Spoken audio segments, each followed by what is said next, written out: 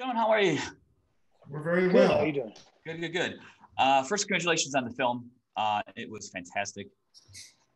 Really, really enjoyed it. Uh, Tim, your performance was incredible as always. Thank you so much. Um, I, I should say, usually when we I watch screeners in preparation for a, an interview, I, I try to gather questions as I, as I go. But then once the film ended, I had a whole new series of questions I wanted to ask. I will not, out of respect for those who have not seen it. Um, but a great, great, great film. Um, Potsy, I'd like to ask you. Um, this is very different from the other projects that you, you've worked on in the past. Can you talk about um, where the idea came from and the, the process of getting it off the ground? Yeah. So um, my my business partner and I, we own Hideout Pictures, and um, you know we had partnered with Shout Studios to with the idea of doing a slate of westerns, and so you know we we we were out scouting this one. You know we were actually looking at other westerns at the time and just trying to see which one we were going to push. But this story came from we were scouting this 25 acre property out of outside of Nashville for a different project, and you know driving around came over the hill and saw this house on these stone blocks and it was a hundred plus year old house and so it really all stemmed from that you know just kind of sat out there and was walking through the house and it started to get dark and it's kind of scary in the country after dark. And so you know it was like what would i do if somebody came up on the house right now? How do you know if you can trust them? And that's just like you know living in the country i think that's the the core of it is your property is your property. When somebody steps on it you don't know if they have good intentions or bad. So you you know it's that way today. I think that i think a lot of the country still lives in that thing. If you come on somebody's property you might be met with a gun you know not pointed at you but held down and a lot of questions so um, you know the the story just kept evolving from there and then we added the historical element and then it just it felt like this was the one to push as the first the first western in this in this partnership with with uh, Shout studio so um, so yeah, that that's kind of where the genesis came from. Was from the location. Um, I have a locations background myself, so that that to me is very interesting. That that can spawn a story like that. That's great. Uh, Tim, you you're executive producer as well. Can you just talk about how you're how you get involved in the project? I was sent the script initially as as a, an actor. Uh, I was cooking dinner and got this email. You've been offered the role of Henry in the movie Old Henry. And in addition to that being the name of my oldest son, Henry, uh, I thought, well, it finally happened. I've been offered a role that's described as old. it was inevitable. Uh, and knowing nothing about it, I started reading it and was immediately drawn in, mostly because of the story of a father and son.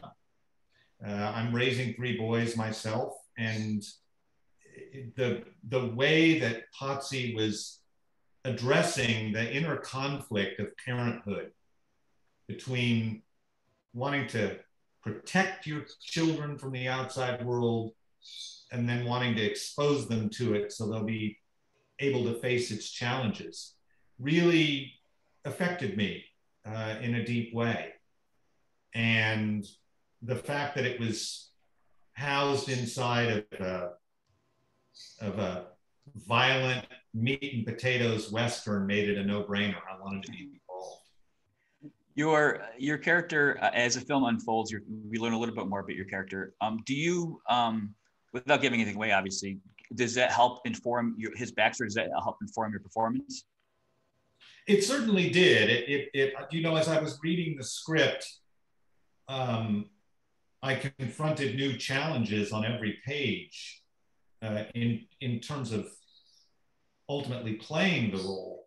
And that excited me tremendously when I realized there was another, even deeper level to it all.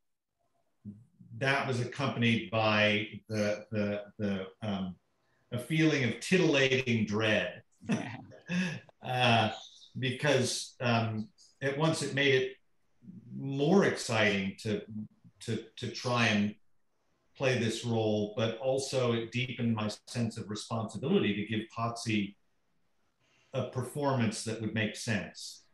And ultimately, the real chore in playing this role, and this wonderful chore, was to find out how, over the course of the movie, this transformation could occur without the audience really knowing when exactly it had happened to make it gradual and organic.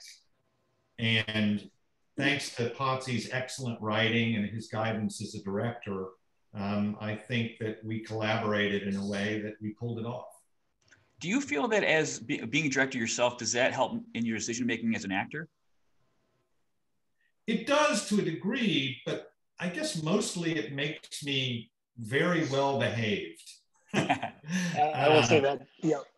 uh, because I, you know, every day I, you know, I had an understanding of what Potsy was going through in terms of the scant resources to make a Western of, of even though it's an intimate Western of considerable scope. Um, and uh, also the, the limited budget he had um, and the limited time he had. And um, so having directed myself, I just know what every conversation, every demand an actor has costs a production. Um, and so I think that being a director just makes me more sensitive to that. Sure. He, Tim would start every every uh, every time Tim had an idea, he'd go, "I'm going to bring this up, but in the end, you can tell me no. I'll walk away." so that was the preface for every everything he said. But it was, I mean, what Tim's not telling you though is he was it was such a great collaboration in I mean from the beginning from reading books and, and pulling pieces of you know authentic characters and, and moments in history out of it and, and really building his character was it was so it was just a blast to work with him and, and really find that character with him because I mean he brings so much to it it's it's pretty amazing. Let's talk about Stephen Dorff's character a little bit. Ketchum, um, it's a great character. Uh, I think it's probably Stephen's best performance. He's fantastic. Um, what's interesting, he's the antagonist, but there's a, a warmth and um, a sincerity to him, which I just kind of want to spend, as an audience, we want to spend more time with them. Was that, how much of that was uh, in the script and how much of that did Stephen bring to the performance? It's, I, I'd say it's, you know, it's funny because the script is written and then once the character, once an actor signs onto that role, you kind of rewrite it for them. So when Stephen signed on, I actually gave him other characters' lines that uh, you know some of his henchmen. We gave him more character, more lines and stuff, just to fill his character out more and make it more of a a meaty role. So, you know, the idea was always that he was kind of this long-winded, poetic speaking, just speaking guy. But I think Dorff brings, you know, he has that raspy voice. He has that rugged look. You know, he looks like he's held a cigarette since three years old. So it's like he just he has a way of uh, his presence is just there. But then once you put these words in his mouth and he just has fun with them, I think it, yeah, it just kind of organically evolved into what it is. And, you know, uh, I think it was, it was definitely, uh, it was, it was fun. It was, it was great to see him kind of make that character his own. One thing Potsy and I did is we worked together uh, is, you know, we, we read all these, we read these histories of, of the characters and of the time. And the vocabulary was just fantastic.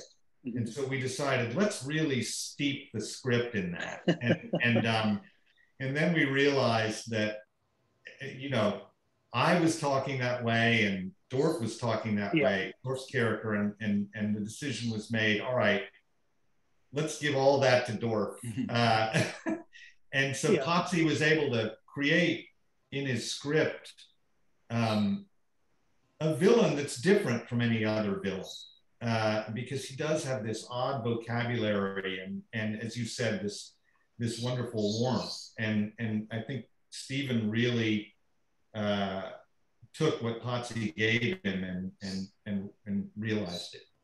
And Tim, you got to say Brigazee and Knuckle and Skull, so we didn't we didn't take all the good ones from him. so, um, what was it? Um, what were the the was it like shooting with the COVID protocols?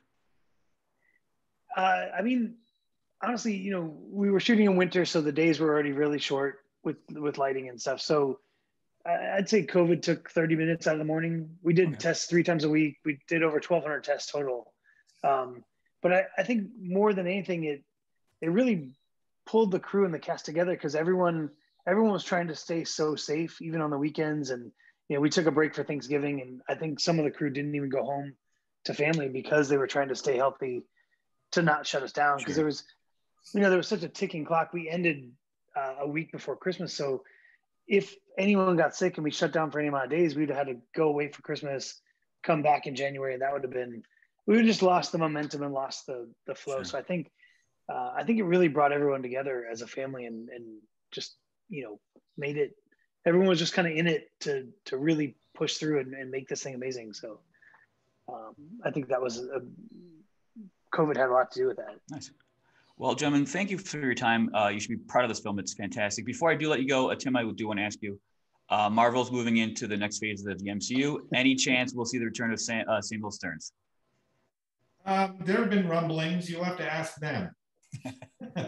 I, I assume you you'd be happy to come back. Sure. Yeah. Okay. All right. Well, guys, thank you very much, and congratulations again. Thank you. Good to meet thank you. you. Thanks for talking to us. Thanks. Bye. Thanks.